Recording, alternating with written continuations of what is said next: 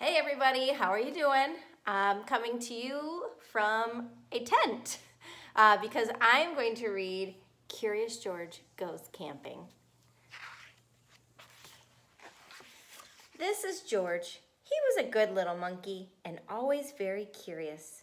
This weekend, George and his friend, the man with the yellow hat, had special plans. They were going camping.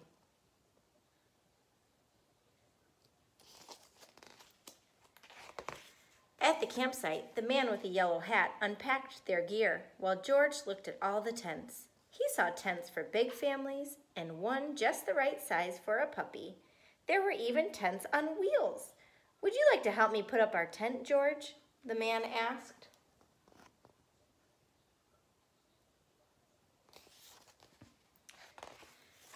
George was happy to help.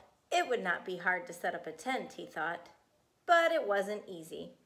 George, why don't you fill our bucket with water at the pump, his friend suggested.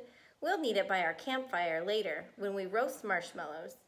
Mmm, marshmallows. George loved marshmallows. He couldn't wait to try them roasted. Now don't wander off and get into trouble, the man warned. But George did not hear him. He was already gone. Oops, I'm sorry, I forgot to show you the pictures, didn't I?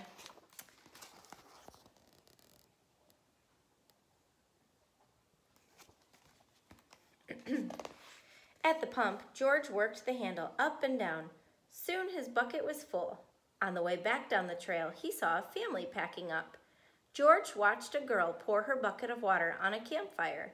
The fire sizzled out. George thought that looked like fun. He poured his bucket of water on the next campfire. Hey, yelled a camper, we weren't finished with that yet. The camper began to chase George, but George didn't mean to cause trouble. Now he only wanted to hide.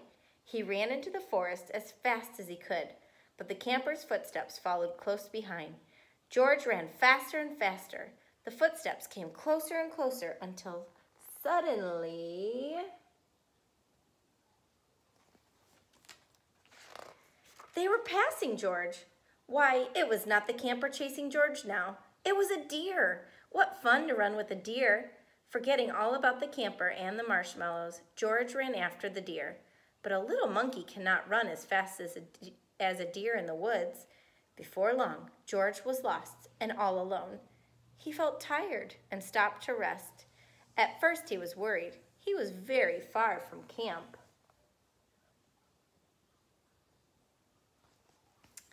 But there were lots of animals to keep him company. He saw a lizard sunning on a rock and a squirrel chattering in a tree. Then he saw the tail of a black and white kitty peeking out from under a bush. he was curious. Would the kitty like to play? George gently pulled the kitty out. Dot, dot, dot.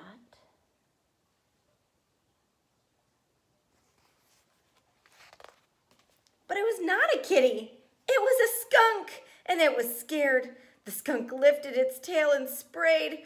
Whew! The spray smelled awful. The animals tried to get away. George wanted to get away too, but he could not. But he could not. The smell was all over him. How would he ever get rid of this awful smell, he wondered. Too bad he could not take a bath in the woods. Have you guys ever smelled a skunk? One time my dog got skunked and it was awful. Then George had an idea. He could wash the smell off in the creek. George jumped into the cold water.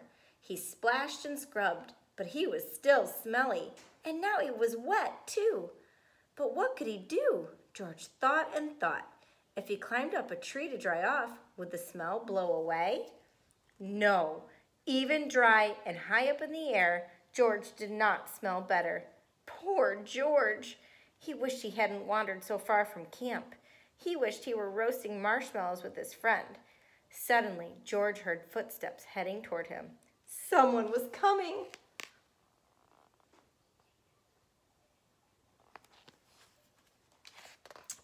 It was the forest animals, but they ran right by him. They had seen something scary, and George saw it too. It was a fire. George had gotten into trouble for putting out one fire, but this fire wasn't in the campground. This was an emergency. Quickly, George climbed down the tree and grabbed his bucket. He scooped it full of water in the creek. Then, being careful not to spill, he climbed back up and swung from branch to branch through the trees.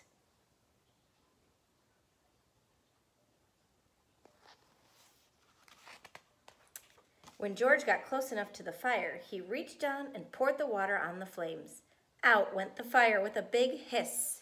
Just then, George's friend rushed out of the forest with a ranger. George, he called, I was afraid you would be here. It's a good thing you were here, George, the ranger said. We saw smoke from the campground, but you put this fire out just in time. George was glad to help, and the man with the yellow hat was glad to see that George was safe. But he had a funny look on his face. George, he asked, what is that smell?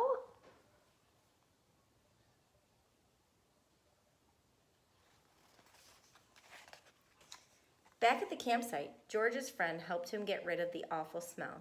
After a strange bath in tomato juice, George smelled fine. Then the man with the yellow hat invited the ranger to cook dinner with them over their own small campfire. Fires can be nice if you're careful, said the ranger.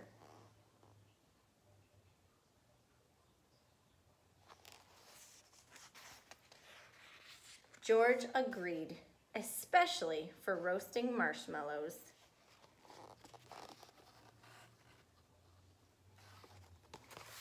All right, guys, I hope you liked this story. Um, I was thinking maybe for a fun activity this weekend or next week when you're on spring break, maybe you guys could build a fort. Maybe you do have a small tent at your house. You could pretend like you're camping outside and um, come up with some different adventures that you could go on if you were like George camping.